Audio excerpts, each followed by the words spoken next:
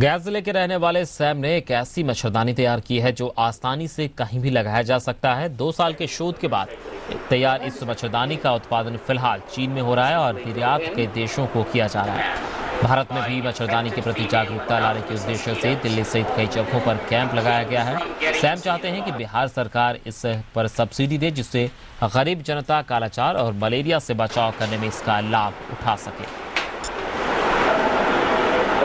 It's collapsing. Bihar का achievement के तौर पे डालेंगे and स्वास्थ्य मंत्री जी से बात हुई है और बहुत अच्छा रिस्पांस रहा है। उनको ये बात बहुत अच्छी लगी है कि एक ऐसा सोल्यूशन हमारे बिहार से निकला है। ऐसे तो अभी कुछ दिन पहले बिल गेट साहब आए थे कालाजार की समस्या को लेके। अब हम एक सोल्यूशन और समाधान लेके उनके पास जाएँगे। और पूरी दुनिया तक जाएँगे। हमारी मच्छरदानी अभी अफ्रीका में, ऑस्ट्रेलिया और अमेरिका में जा रही है और बहुत ज़्यादा लोग इसको पसंद कर रहे हैं कि एक जटिल समस्या को का समाधान निकल गया।